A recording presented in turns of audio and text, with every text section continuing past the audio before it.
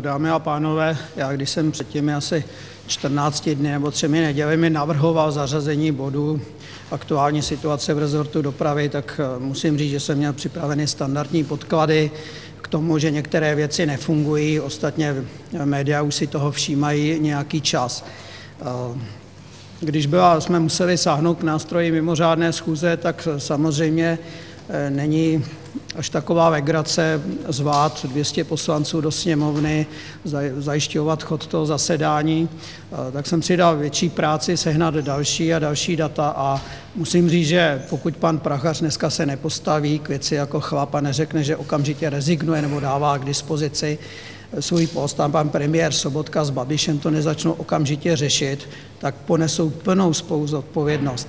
Vedle toho, co tady říkal pan předseda, musím říci, že se chci dotknout konkrétních kauz, které se týkají rekonstrukce dálnice D1, konkrétních kauz, jak jedná se samosprávami, jak svévolně mění a fakticky umrtvuje dlouhá léta připravované investice a své vystoupení, které tedy bude asi delší, tak zakončím velice tragickou záležitostí. Možná jste si všimli nebo zaznamenali nebo si položili otázky, co se v posledních měsících v letošním roce děje na českých silnicích. Za, ve srovnání meziročně za prvních devět měsíců narostla nehodovost nejtragičtějšími následky, to znamená smrtí o 10% zatímco v předchozích letech klesala a zaznamenali jsme dokonce evropské úspěchy. A pak najednou narazíte na to, že je zdevastován BESIP. Takže tam už nejde o nějaké, že někdo něco nepřipraví, to tam už jde i o, bohužel, věci nejtragičtější.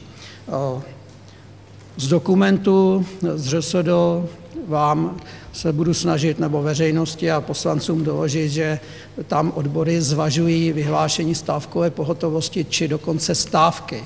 Ocituji některé dokumenty, které jsem získal bez jejich vědomí, protože nevím, jaké následky by mělo pro ně, ale kdyby to nebylo tragikomické nebo tragické, protože přes tu instituci se protáčí, jestli se nemýlím, nějakých 30 a více miliard korun, jak ze státního rozpočtu, z dalších státem definovaných nebo zákonem definovaných, tak i z evropských peněz. A jestliže tam potom vidíte, nebo z těch zápisů vidíte naprostou to je diletantství, kdy na některé posty už jde třetí vlna lidí za poslední měsíce, absolutně nekompetentní lidi, kdy komise se bojí rozhodovat, totální rozvrat, kdy každý válčí s každým. My si toto nemůžeme dovolit. A jestliže tato koaliční vláda tvrdí, že udělá všechny možné kroky, aby se zachránil v jejich podání současný program čerpání evropských peněz OPD 1 a rozběhl program OPD 2, tak z té analýzy, kterou tam přečtu, tak asi bude zřejmé, že hrozí naprostý bankrot těchto představ, který bude mít dalekosáhlé důsledky do dalších let. On už je bude mít v každém případě, protože takto rozvrácenou organizaci nejde spravit ze dne na den.